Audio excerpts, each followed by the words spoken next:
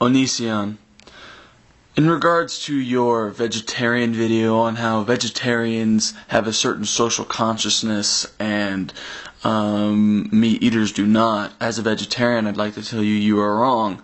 Now, granted, um, I, you, I guess according to you, I'd only be a half-assed vegetarian because I do still eat chicken, but I do not eat any other form of meat whatsoever and prefer eating fruits and vegetables. Now, when I was a meat eater, I was well aware of how animals were treated, which is why I primarily tried buying organic when I could afford it. That being said, I looked at how most processed meats and most organic meats are cleaned in the United States. And that is what made me want to switch over to vegetarianism. It wasn't because I felt like I had a social or moral obligation to stop eating meat.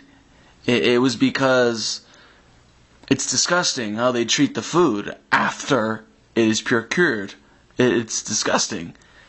But you're also looking over the fact that in the United States, the way major corporations treat vegetables and fruits, it's fucking gross. I mean, the tomato, for example.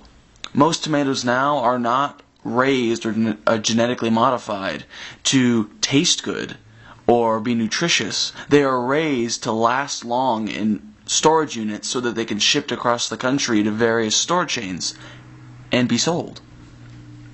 That's how vegetables and fruits are being treated now. If you're going to overlook that, you're being a fucking hypocrite.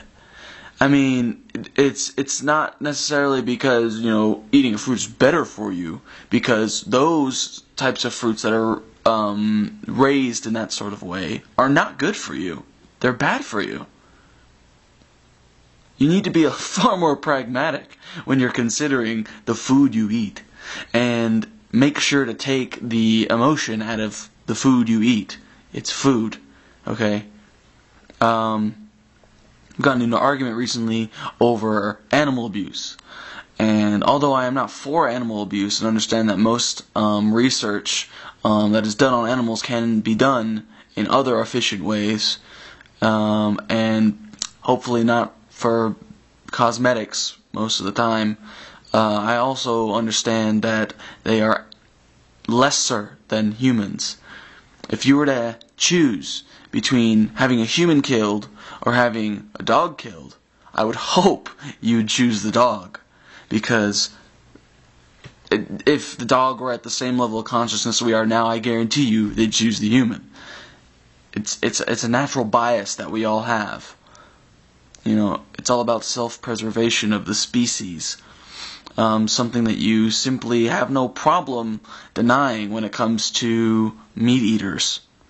Um, yeah, so basically, if you're going to talk shit about people of your own race, the human race, then over the food they eat, nonetheless, I don't know, dude. I don't know what to tell you other than you're a, a douchebag. So, peace.